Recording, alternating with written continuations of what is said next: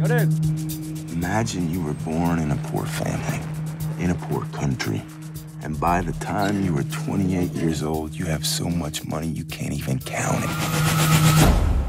Señores, yo soy Pablo Emilio Escobar Gaviria, haciendo negocios, así que pues fresco.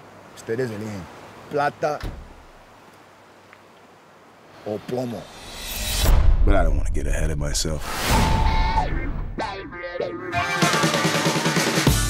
I'm Steve Murphy, drug enforcement agent. In 79, the bad guys I was chasing wore flip-flops. Are you running, huh? What you got? What is that? When I started, a one kilo grass bust was cause for celebration. Before long, we were seizing 60 kilos of coke a day. The hippies had been replaced by Colombians, and these guys didn't wear flip-flops.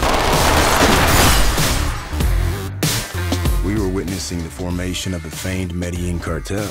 There was Jose Rodriguez Gacha, the Ochoa brothers, and last but not least, Pablo Escobar.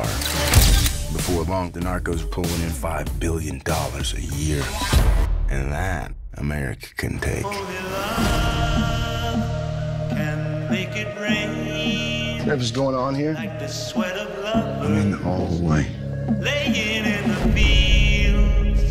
You know what that means. In war, good and bad are relative concepts.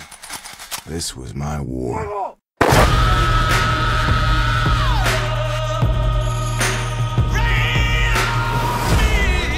Your party took money from Escobar. Everyone took money. By the way, it's all American money. If there's one thing I've learned in the narco world, it's that life is more complicated than you think.